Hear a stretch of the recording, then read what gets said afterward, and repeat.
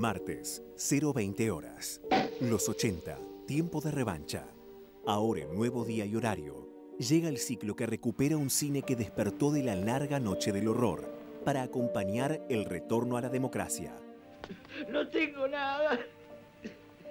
Nunca, nunca tuve nada. Un hombre retraído y atormentado espía a una joven pareja a través de la ventana de su departamento.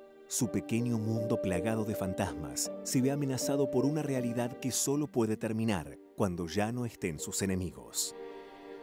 Ulises Dumont y Nelly Prono en Los Enemigos, de Eduardo Calcaño. Los 80, Tiempo de Revancha. El martes a las 0.20 por Inca TV. Historias para mantener viva la memoria.